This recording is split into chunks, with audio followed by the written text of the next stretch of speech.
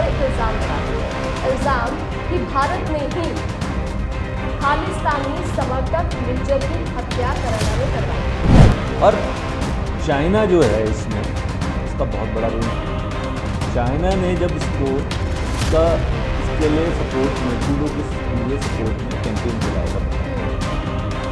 Opposition के लिए अलग से कुछ पैसे की व्यवस्था की। कि की सरकार बन गई क्योंकि टूडो कहीं चाइना की तरफ़ ज़्यादा झुकाव झुकाव रहा है। फाइव आई में अमेरिका है ऑस्ट्रेलिया है ब्रिटेन है न्यूजीलैंड है कनाडा है। अब इन्होंने कहा हम तो फाइव आई के मेंबर हैं। चलिए पापा पापा कहते हुए या भैया भैया कहते हुए चले इनके पास। न्यूज़ वर्ल्ड इंडिया देख रहे हैं आप आपके साथ मैं हूँ काजोल नारायण। और मैं हूँ हरीश असवाल।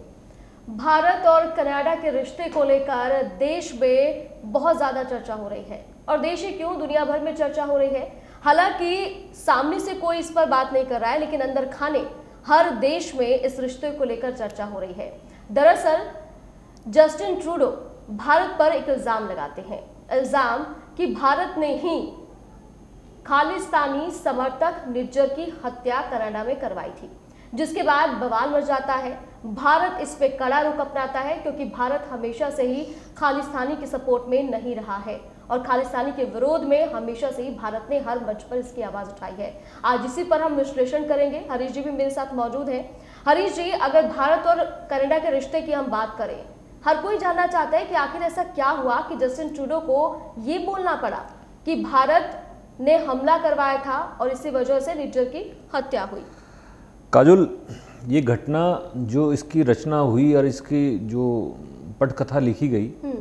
वो 2019 में लिख दी गई थी। अब आप पूछोगे कैसे लिखी गई?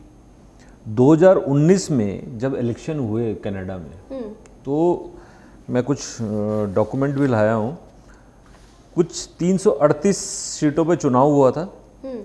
जिसमें से टूडो को जो है एक सौ सत्तावन सीटों के आसपास मिली थी। तो उनका बहुमत से आंकड़ा थोड़ा दूर था। हम्म। अब उनको चाहिए था कि भैया कोई सपोर्ट कर दे। तो उस टाइम पे जो सपोर्ट किया गया जगमीत सिंह जिनके पास थी 24 सीटें। जो कि खालिस्तानी सपोर्टर है। जो खालिस्तानी सपोर्टर है। जगमीत सिंह ने टूडो को सपोर्ट कर दिया कंडीशनल कि भैया तुम हमारा साथ दोगे तो हम तुम्हें सपोर्ट करते हैं। तो क्या जगमीत सिंह कंडीशन थी? कंडीशन बोलते हैं ना कि अनटोल्ड कंडीशंस होती है ना कि शर्तें तो होती हैं ना जब कोई समर्थन देता है उसकी शर्तें तो होंगी। तो उन्होंने उस सीट पे समर्थन दिया और उसको उसकी सरकार बना दी। और चाइना जो है इसमें इसका बहुत बड़ा रोल था। चाइना ने जब इसको इसका इसके लिए सपोर्ट में टूडो के लिए सपोर्ट में कैंपेन चलाया था बकायदा। अपोजिशंस के लिए अलग से कुछ पैसों की व्यवस्था करी थी कि टूडो की सरकार बन जाए क्योंकि टूडो कहीं ना कहीं चाइना की तरफ़ ज़्यादा झुकाव रहा झुकाव रहा है। इधर से मिल गए कौन? जगमीत सिंह। जगमीत सिंह ने कहा कि भैया हम हमारा एक ही एजेंडा है वो है खालिस्तान। हम्म। तो आपको हमारे को इस पे सपोर्ट करना है। अब क्या हो गया? दो दुश्मन मिलकर ने एक घटना को अंजाम देने की कोशिश 2019 में की। हम्म। यानी प्री प्लानिंग प्री प्लानिंग 2019 से। ये आज की बात नहीं है। 2019 से इन्होंने इसको टूडो को सामने कर दिया। अब टूडो की मजबूरी बन गई हम्म। कि भैया इनकी विचारों को अगर मैं नहीं रखूँगा तो मेरी सरकार गिर जाएगी। पावर का नशा। उस चक्कर में टूडो साहब फंस गए। हम्म। अब टूडो साहब को उसके बाद एक और मीटिंग हुई चाइना के साथ जहाँ चाइना के राष्ट्रपति ने कहा कि भैया चलिए हम अंदर कमरे में बैठ के कुछ चर्चा कर लें गुप्तगु कर लें। हम्म। उस गुप्तगु में उन्होंने कहा ये सार्वजनिक नहीं होनी चाहिए ये पर्सनल है और कॉन्फिडेंशियल है। अब टूडो साहब कहाँ चुप रहने वाले थे? टूडो साहब ने बाहर निकलते ही मीडिया के सामने आके बखान कर दिया कि हमारी अंदर क्या क्या वार्ता हुई। ये भी एक क्लिप मैं आपको दिखाऊँगा इसमें। हम्म। तो क्या क्या वार्ता हुई तो उन्होंने सारा मीडिया में बोल दिया। अब चाइना उनके भाई उन्होंने उसको बुलाया कि भैया ये तो हमारी डिस्कशन हुई नहीं थी। हमारी डिस्कशन तो ये थी कि जो भी अंदर बात होगी वो कॉन्फिडेंशियल रखी जाएगी। अब तुम कैसे कर सकते हो ये बात?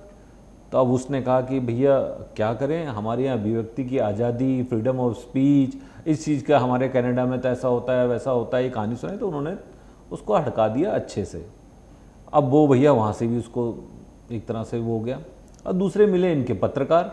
जिन्होंने उस टाइम पे इनका पूरा सपोर्ट किया था टूडो साहब जो कि मूल कहाँ के थे? चाइना के। चाइना के। तो उन्होंने एक कोई क्लासिफाइड डॉक्यूमेंट्स में उन्होंने ज़िक्र कर दिया कि कैसे कैसे हमने सरकार बनाने में और क्या क्या हमने काम किया। तो जब ये सारी घटनाएँ मिलती चलेगी अब आगे हमारे पड़ोसी देश पाकिस्तान भी। हम्म। पाकिस्तानियों ने कहा कि खालिस्तान जब तक भारत के टुकड़े नहीं होंगे हमारा एजेंडा क्लियर नहीं होगा। हम्म। ठीक है हमें कश्मीर चाहिए तुम्हें खालिस्तान चाहिए आइए भाइयों लड़ते हैं। तो तोड़ने की स्कीम बनने लगी इनकी। अब जब स्कीम बनी दो दुश्मन विचार नहीं मिलते इनके आपस में। विचार बिल्कुल नहीं मिलते। पर भारत के अगेंस्ट में कुछ भी है हाँ। तो बोलते हैं उन विचारों को रखो साइड में और हम करेंगे इस पर विचार। हम्म। और हम हम भाई भाई हैं। तो खाने को आटा नहीं पहनने को कपड़ा नहीं गाड़ी में भराने को पेट्रोल नहीं और रहने को घर नहीं सही से और बिजली की तो व्यवस्था नहीं। ये है पाकिस्तान के हाल। जनता मांग रही है कि भैया, हमें तो हिंदुस्तान वापस भेज दो। अपनी जनता को कुछ नहीं दे रहे हैं। और बजट जो है आईएसआई के थ्रू इस तरह की फंडिंग ये करने में लगे हैं। अरे भैया इंडिया के खिलाफ कुछ मिला है, इस पर पैसा लगाओ। तो पैसा जो है इनका इन कामों में लगता है। तो ये हो गए दो दुश्मनों की कहानी से। ये कहा- पटकथा 2019 से लिखी जानी शुरू हुई। अच्छा अब टूडो साहब को एक बार और बात याद दिला दूँ मैं आपको। टूडो साहब को ये बात याद आई जब वो हिंदुस्तान आए। अभी भारत देश में जब जी ट्वेंटी की मीटिंग हुई। जी ट्वेंटी में आए तो उनको कहा गया कि भैया आपके प्रेसिडेंशियल स्वीट्स रखा गया है। आप उसमें बोलते नहीं मैं तो नहीं रहूँगा मैं तो नॉर्मल कमरे में रहूँगा। रहिए भैया नॉर्मल कमरे में। और उन्होंने बाकी लोगों से बात करने की कोशिश करी कि खालिस्तान के ऊपर भी बात कर लेते हैं इसके ऊपर। सभी लोगों ने अपनी दूरी बना ली। हम्म। उन्होंने कहा कि भैया देखो ऐसा है कि हम तुम्हारे इन विचारों से सहमत नहीं है जी ट्वेंटी की मीटिंग का एजेंडा ये नहीं है। तो अब टूडो साहब हो गए परेशान। उन्होंने कहा क्या करें? डिनर में इनवाइट किया डिनर में नहीं पहुँचे। कि नहीं साहब मैं तो डिनर में नहीं आऊँगा। उनको बायो बायोफ्यूल के ऊपर मीटिंग अटेंड करनी थी। वो मीटिंग अटेंड नहीं करी। तो जी ट्वेंटी में करने के आए थे उनका एक ही एजेंडा था कि खालिस्तान। क्योंकि उनको वहाँ से भेजा गया था कि भैया तुम इंडिया जा रहे हो खालिस्तान के ऊपर डिस्कशन करो। हम्म। तो कहानी यहाँ पर शुरू हुई। अब हिंदुस्तान की एक भाई मेजबानी कर रहे थे तो प्रधानमंत्री को उनसे मिलना था। हम्म। पर एक टुक उन्होंने बात कही कि देखिए आप हमारे भारत के टुकड़े करने की अगर कोई बात चर्चा करने आए हो तो हम आपसे बात नहीं करेंगे। तो उनका मुँह फूल गया। मुँह फूला तो उनको जब टुक खानी पड़ी उनको वहाँ पर। मुँह के बल गिरे कि भैया तो कोई मुझसे बात करने को राज़ी नहीं है सबने मुझसे किनारा कर लिया। और हिंदुस्तान की जय जयकार हो रही है मैं करूँ क्या? अब भगवान के यहाँ क्या है? देर है अंधेर नहीं। उनका जहाज़ भी खराब हो गया इस बीच में। हम्म। अब क्या हुआ कि दो दिन उनको भारत ने इनको जहाज़ भी नहीं दिया? अब ये एक तरह से कैद हो गए हिंदुस्तान में। तो बहत्तर घंटे में इनको किसी ने पूछा नहीं। इनका दो दिन बाद जहाज़ खराब हुआ जो कि चर्चाएँ अलग अलग तरीके से हैं, जिसमें ये कहा गया कि इनका जहाज़ खराब कराया गया, ये कराया गया, ये तो सब बातें होती रहती हैं, पर इनका जहाज़ खराब हुआ। अब ये जब अपने देश पहुँचे, इनके देश में पहुँच के पोजीशन ने इन्हें घेर लिया। घेरा तो उन्होंने कहा कि भाई, ऐसी बेइज्जती तो हमारे किसी प्रधानमंत्री की आज तक नहीं हुई, जो टूडो साहब आप करवा के आए हो। और हमारे देश का तो नाम ही डुबा दिया आपने, इनको खरी खोटी सुना दी उन्होंने अच्छे से। जब इस खरी खोटी को सुनाया तो इनको याद आया कि यार वाकई में मेरी बेइज्जती तो बहुत हो गई है मैं ऐसा क्या करूँ? तो इन्होंने क्या करा कि इन्होंने कहा कि यार चलो ये जो अ, क्या नाम है इसका जो आतंकवादी है हम्म। आतंकवादी का इन्होंने निज्जर। हम्म। हरदीप सिंह निज्जर। इसका मैटर मैं उठा देता हूँ कि हरदीप सिंह निज्जर की जो हत्या कराई वो हिंदुस्तान की है और हिंदुस्तान की रॉ एजेंसी इसमें इन्वॉल्व है। हम्म। ये घटना कब की थी? निजर की हत्या का? जून की। जून की। 18 जून की आसपास की घटना है कि दो लड़के आए उन्होंने 10-15 गोलियाँ मारी हम्म। और भैया केस निपटा दिया जिसकी ज़िम्मेदारी लॉरेंस बिश्नोई ग्रुप ने ली है यहाँ पर। पर ये घटना कब याद आई? सितंबर में। आप जून से सितंबर तक कर क्या रहे थे? कुछ नहीं। तो बोलते हैं ना खिस, खिसियानी बिल्ली खंबा नोचे तो उसको कुछ नहीं मिला तो उसने। तो कहा भारत ने कहा भाई सबूत दो। तो सबूत उनके पास थे नहीं। अब उन्होंने सबूत क्या बोलने शुरू कर दिए जो इंटरनेट में हम लोग सर्फिंग करते हैं सर्चिंग करते है और जनरल मतलब आपने कुछ लिख दिया मैंने कुछ लिख दिया वो एक जनरल इन्फॉर्मेशन के तौर पे उन्होंने कहा ये सबूत है। नहीं तो दिखाई दिए। वहाँ की मीडिया ने खुद कहा है यहाँ के अपोजिशन ने खुद कहा है जो ये सबूत दे रहे हैं तो जनरल इन्फॉर्मेशन है। इन इन्फॉर्मेशन के बेस पे आप कुछ नहीं कह सकते। अब ये भाई साहब और गिरते चले गए। अब टूडो साहब की तो स्थिति हो गई खराब। अब अगला इलेक्शन प्रधानमंत्री बनने की महत्वाकांक्षाएँ कम ना हो, उसमें फिर चाहिए उनको। अब इनका साथ छोड़ें तो क्या करें, क्योंकि और कोई सपोर्ट करने को तैयार नहीं। अब चाइना ने कहा, चलो भैया, हम तुम्हारे साथ कुछ क्योंकि तुम भारत के विरोध में कुछ कह रहे हो। तो हम भूल गए, तुमने क्या किया था? तो चलिए, हम तुम्हारे को सपोर्ट करते हैं। तो चाइना ने इसको फंडिंग करना शुरू कहा। कहा कि तुम अब बकते रहो जो बकना है। हम तुम्हारे साथ हैं, तुम चिंता ना करो। तो इस तरह से इनकी कहानी शुरू हुई। पर आज मैं आपको बता दूँ कहानी तो शुरू हो गई अंत भी हो गया इसका अंत तो नहीं अभी ये चर्चाएँ खूब चलेंगी। लेकिन अ, कुछ ऐसी जानकारी आ रही है कि सुर बदले बदले से हैं ट्रूडो के थोड़े नरम पड़ गए हैं? नहीं नहीं नरम नहीं वो अभी तो क्या है कि मैं बताऊँ अब हिंदुस्तान ने अपनी ताकत कैसे दिखाई? हिंदुस्तान ने अपनी ताकत दिखाई जब जय जब फॉरेन मिनिस्ट्री में गए उनके राजदूत मिलने के लिए तो आप यकीन करेंगे इंडिया ने चार मिनट में डिसीज़न ले लिया। चार मिनट का डिसीज़न हम्म, चार मिनट में अगर दो राजदूत मिल रहे हैं आप तो देखिए कि एक एएनआई की क्लिप भी मैं दिखाऊँगा जिसमें एएनआई ने ट्वीट किया है कि भैया कनाडा के राजदूत जो हैं अभी अंदर गए हैं चर्चा करने के लिए और चार मिनट बाद कि वो चर्चा करके बाहर आ गए। मतलब चार मिनट में वो अंदर भी गए बाहर भी आ गए ट्वीट भी हो गया सब कुछ हो गया तो अंदर जाके क्या बोला गया हुआ? ये एक दो शब्द हो सकते हैं चाय तो पूछी नहीं गई होगी। जब चाय नहीं पूछी, पानी नहीं पूछा, गए होंगे, खड़े हुए होंगे, एक मिनट सांस भी नहीं ली होगी, तब तक उन्होंने कहा get out from my country India ने साफ़ उसमें कह दिया कि जो अगर मेरे भारत को तोड़ने की बात करोगे, तुम्हारे लिए कोई जगह नहीं है। आप अभी निकलिए यहाँ से, पाँच दिन का समय दिए बोरी, बिस्तर, जो सामान ले जा सकते हो, ले जाओ अपना यहाँ से, निकलो। अब उनका जब रिएक्शन देखा गया, वो भी देखने को मिला कि भैया, जब मीडिया ने उनसे पूछने की कि क्या बात हुई तो उन्होंने मीडिया का माइक ही तोड़ने की कोशिश एक तरह से दरवाजे के थ्रू तो इसका मतलब अंदर बहुत कुछ हुआ है बहुत ऐसा। कुछ नहीं एक मिनट हुआ है कुछ नहीं बहुत कुछ नहीं हुआ है।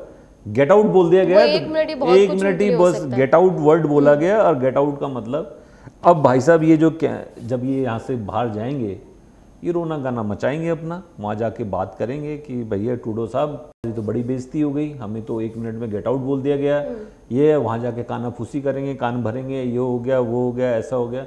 फिर टूडो साहब बोलेंगे अच्छा ऐसा हो गया, मेरे साथ भी ऐसा हुआ, मुझे भी इन्होंने बड़ा परेशान किया, मेरी किसी ने सुनी नहीं। तो ये सारी कहानियाँ यहाँ से शुरू हुई। अब खान, कहानी जो है, सारी की सारी, वो ये है, खालिस्तान।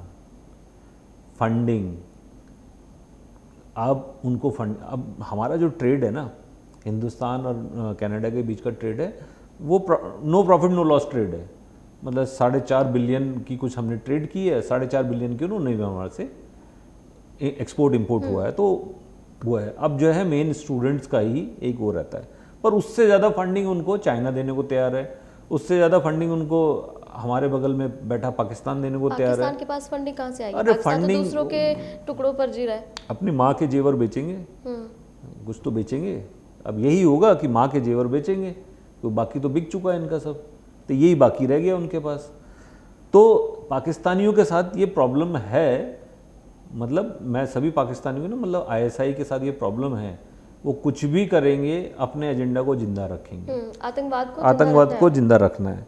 तो ये कहानी यहाँ से शुरू होते हुए जब get out from my country हो गया तो ये इनके अब हो गया। अब अगर पावर का नशा जो मैंने पहले भी कहा कि अगले साल चुनाव है चुनाव में इनको जीतने के लिए फिर उनका सपोर्ट छोड़ नहीं सकते।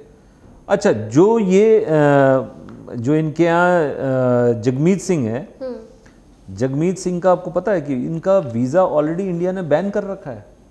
काफ़ी समय। काफ़ी समय से इनको बैन कर रखा है। लगभग 2013 से इनका बैन है। तो 2013 से इनका एक या हमने एक साफ़ कह रखा है ये खालिस्तानी है भारत के टुकड़े करने वाले व्यक्ति हैं। ये हमारी यहाँ बैन है ये आनी नहीं चाहिए। तो अब उनके पास क्या है? अब भारत ने क्या काम किया है इस टाइम पे? भारत ने वो बोलेंगे कि पाइपलाइन जो है ना उस पर पाँव रख दिया है। है ना? उनकी नसों पे पाँव रख दिया है कि भैया ना रक्त इधर जाने देंगे ना उधर जाने देंगे तुम्हारा वीज़ा हम बंद कर देंगे। बनाओ खालिस्तान कहाँ बनाना है तुम्हें? कनाडा में कहाँ कौन सी कौन सी जगह पे बनाना है? वहाँ बनाओ। हमारे हिंदुस्तान में ये सब नहीं चलेगा। तो ये जो हमारे हिंदुस्तान हमारे भारत की ताकत जो दिखाई दे रही है अब ना ये असल मायने में आज दिखाई दी है कि हम किसी से दबने वाले नहीं ना हम भारत के कोई अंदरूनी मामलों में किसी की दखलंदाजी बर्दाश्त करेंगे अब क्या है जस्टिन टूडो साहब ने सोचा कि भैया अब हम तो सिक्स आई के वो हैं मेंबर है फाइव आई के सॉरी फाइव आई के मेंबर है मैं फाइव आई बता दूँ कौन कौन है फाइव आई में? फाइव आई में अमेरिका है ऑस्ट्रेलिया है ब्रिटेन है न्यूजीलैंड है कनाडा है. अब इन्होंने कहा हम तो फाइव आई के मेंबर हैं. तो चलिए पापा पापा कहते हुए या भैया भैया कहते हुए चले इनके पास कि हमारे साथ तो ऐसा ऐसा हो गया. पर जो जी ट्वेंटी में और जो भारत के ऊपर इस टाइम पे आयात निर्यात के ऊपर जो पूरा विश्व टिका है उन्होंने कह दिया कि भैया तुम मरवाओगे क्या हमें? और ये सारी कंट्रीज़ जी ट्वेंटी में बहुत अच्छे से वार्ता हुई बिल्कुल बिल्कुल। तो उन्होंने टूडो को कह दिया भैया तुम क्या मरवाओगे क्या हमें? तुम्हें पता नहीं कि भारत का आज कौन सी पोजीशन पे बैठा है। तुम ये अंदरूनी मामला है हमें बीच में मत लाओ। ये ये फाइव आई और ये सब के चक्कर में हमें मत डालो।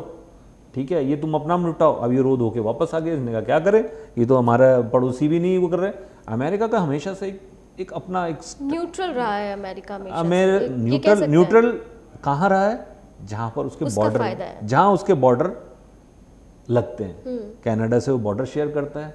बोलते हैं हम न्यूट्रल हैं। हम्म। पड़ोसी पड़ोसी हमको क्योंकि वो अपने बॉर्डर से लगे हुए कहीं भी सीमाओं पर वो दखल अंदाजी नहीं चाहता। मतलब किस तरह का वो नहीं चाहता कि जिससे कि प्रॉब्लम हो कल के दिन लगे हुए बॉर्डर अब ऐसे तो अमेरिका को पूछा जाए कि अगर खा अ, उनको अगर आतंकवादियों से वो नहीं है तो उन्होंने क्यों अफ़गानिस्तान में जाके उन्होंने बेस बनाया? क्यों उन्होंने किसका नाम आतंकवाद को ख़त्म करने के लिए काम किया? उनसे ही पूछा जाएगा ना। अगर खालिस्तानी अगर कनाडा पालेगा तो क्या इनके खिलाफ कोई एक्शन नहीं होना चाहिए? बिल्कुल। तो ये सारी कहानी है इनकी। तो ये खिसियानी बिल्ली खम्बा नोचे आज शुरू नहीं हुआ। 2019 में शुरू हुआ तब तक ये चलाते गए। इन्होंने सोचा कि अभी हम ठीक है। उन्होंने खालिस्तानियों ने इन पर प्रेशर बनाना शुरू करा। इनका जी ट्वेंटी सही प्लेटफॉर्म है यहाँ बात करते हैं यहाँ बात बनी नहीं। अब इनका वापस जाके जवाब क्या दें? बेइज्जती हो ही चुकी है जवाब कुछ है नहीं। तो ये जाके अब वहाँ पर ये कहानी को इन्होंने कि भैया कुछ नहीं करते तो ये मर्डर जो है ये रॉ ने कराया इंडिया ने कराया इंडिया इसके जिम्मेदार है। हमारे नागरिक को मार डाला। अरे भैया तुम्हारे नागरिक को नहीं। पहले तो जिसने मारा जिसने हत्या करी हम तो उसकी भी निंदा करते हैं। पर निंदा के साथ साथ आप उसका भी तो करेक्टर सर्टिफिकेट देख लें। उसका करेक्टर सर्टिफिकेट में वो हमारे यहाँ से मोस्ट वांटेड है। बिल्कुल। आतंकवादी की श्रेणी में है वो। दस लाख का इनाम उस पर रखा गया था। तो आप किस चीज़ की वकालत कर रहे हैं? आप अपने यहाँ सिटीजन ऐसे पालेंगे? ऐसे इस तरह को लोगों को सिटीजनशिप बोलेंगे आप कि हमने दे रखी है? इसका मतलब आप आतंकवाद को बढ़ावा दे रहे हैं। और ये जब है जब कनाडा इससे पहले खालिस्तानियों का अटैक झेल चुका है। देखिए। दो से तीन बार हालाँकि उतना नुकसान नहीं हुआ था लेकिन अटैक तो झेला था बिल्कुल झेला है। तो यही है मतलब पूरी कहानी जो है, मैंने आसान शब्दों में आम जनता के लिए यही, इसीलिए तैयार की है कि ये जो कहानी है, ये आज की रची हुई नहीं है। ये सत्ता के लालची लोगों की रची हुई है। भारत के टुकड़े करने वालों के लिए की मंशा से की गई है, जहाँ भारत ने अपनी ताकत, अपनी समझबूझ के साथ साथ साफ़ क्लियर किया कि भैया, हमारे टुकड़े करने की बात करोगे तो तुम्हें सबक सिखा दिया जाएगा। तुम कनाडा हो, कोई भी हो, कोई भी देश हो तुम्हारे साथ, हमें फ़र्क नहीं पड़ता। तो पाँच नहीं छः आँखें लगा के घूमो फाइव आई बोलो सिक्स आई बोलो, कुछ भी बोलो। भारत तेरे टुकड़े होंगे कि जहाँ बात होगी, वहाँ हम तुम्हारे को तुम्हारे को सबक सिखा देंगे। तो काजुल जी, यही था, और मेरे हिसाब से ये आसान भाषा में सबसे अच्छा हम ऐसे ही समझा सकते हैं आम जनता को कि भारत आज किस मज़बूत स्थिति में बैठा है। तो हर कोई जानना चाहता था कि कनाडा और भारत के रिश्ते अचानक से कैसे खराब हो गए हैं। प्री प्लानिंग थी और प्लानिंग के हिसाब से जस्टिन ट्रूडो भारत आए थे और उन्हें लग रहा था कि ये बेहतर मौका है खालिस्तान पर बात करने के लिए, लेकिन भारत बर्दाश्त नहीं करेगा। भारत एक इंच भी ज़मीन अब ना किसी को देने वाला है, ना छीनने देगा। तो ऐसे वीडियो के लिए आप न्यूज़ वर्ल्ड इंडिया को सब्सक्राइब ज़रूर करें। वीडियो आपको कैसा लगा, जानकारी आपको कैसी लगी कमेंट करके ज़रूर बताएँ। आगे भी ऐसे वीडियोज़ आते रहेंगे।